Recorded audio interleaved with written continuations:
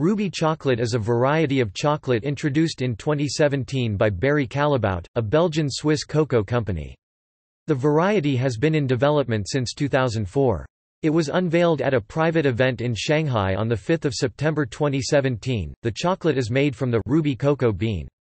Ruby beans are existing botanical cocoa bean varieties that have been identified as having the right attributes to be processed into ruby chocolate. The chocolate's taste is described as sweet yet sour, with little to none of the cocoa flavor traditionally associated with other varieties of chocolate, with the production methods being kept a trade secret and the use of genetic modification denied by Barry Callebaut. Publications note industry speculation that ruby chocolate is made with unfermented cocoa beans, which can have a natural red pinkish color.